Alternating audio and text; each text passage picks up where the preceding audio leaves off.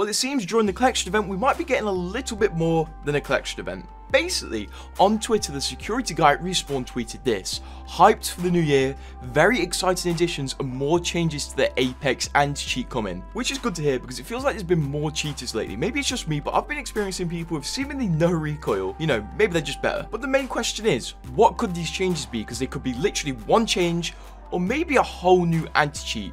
The possibility of a whole new anti-cheat is actually pretty high because EA have been making their own anti-cheat which they have said is going to be coming to more games in the future and one of them could be Apex. And it makes sense for EA to make their own anti-cheat because they have full control over it and they could probably go through your files. You may have actually seen it in the news recently because uh, basically it ruined the launch of FIFA 23 and made it so people couldn't launch the game. So hopefully if it does come to Apex, it's fixed. Either way, we're getting anti-cheat changes, so either way, we're probably hopefully going to see less cheaters, although keep your fingers crossed for that one. But have you actually been experiencing many cheaters lately, or have Respawn kind of quelled the amount of them? Also, subscribe.